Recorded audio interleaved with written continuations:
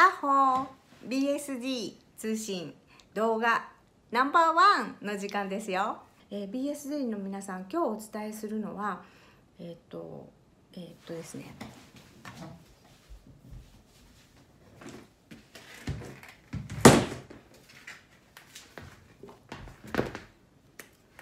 この前あの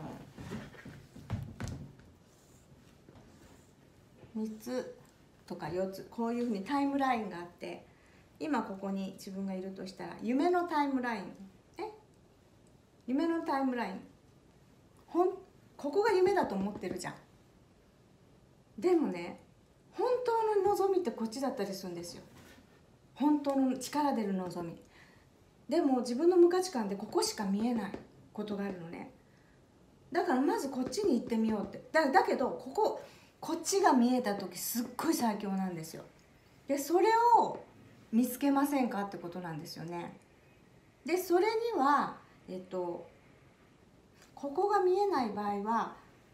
えっと、あんまり無理しなくていいんであのとりあえずここに移ってください。この未来のあるここのポジションに移ってください。イメージで。ただイメージで、えっと、夢のタイムラインに移るって言ったらいいです。そして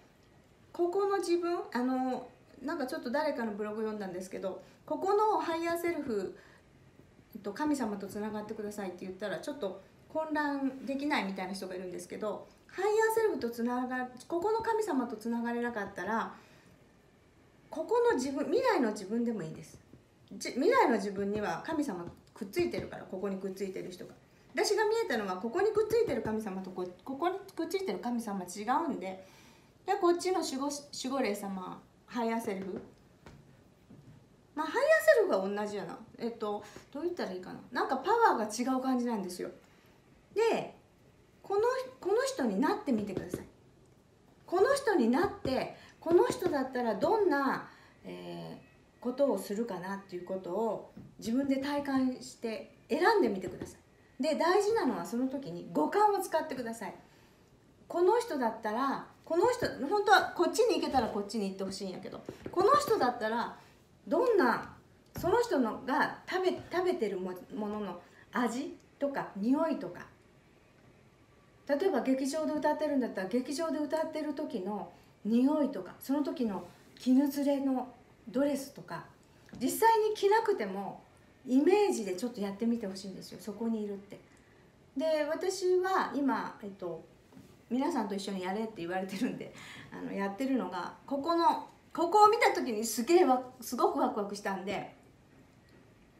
えここ見えた時びっくりしたんですよ。ここしか見えてなかったから。えこんな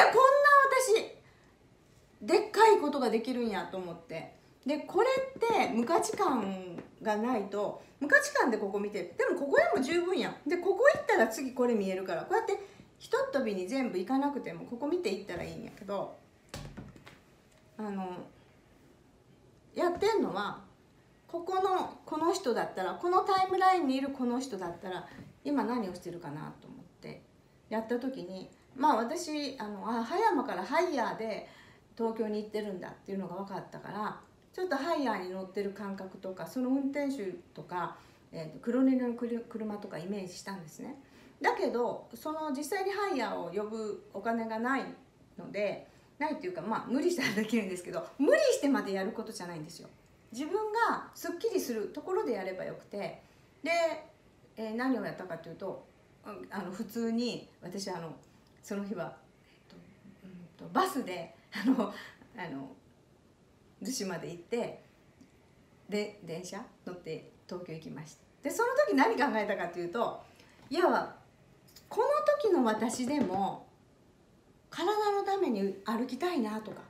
できるだけ体を動かしたいなと思ってるなという発想に切り替えたんですよ。でその夢のタイムラインに載っているお金がどんどんある私があの歩いてバスに乗ったんですよ。っていうか私多分ここになってもバスに乗ってるんですよ。歩あの 歩いてるんですよ多分。なんかそういうのが好きやから。普通の暮らしが好きやから。だからそういう感じでもしあのお金がないからこれできないやんと思ったらそういう発想を切り替えて、えー楽しんでここにいる私自分を五感でちょっとやってみてください。それあの女優メソッドなんですけどそれをあの当日 BSD のセミナーの日はあの徹底的にやりますけどもう準備してください。あの想像の中でどんな声が聞こえるのかその場所にいたらどんな匂いがするのかどんなものが見えるのか。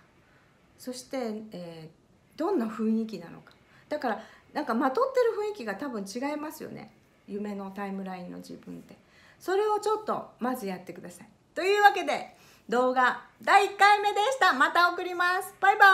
ーイ。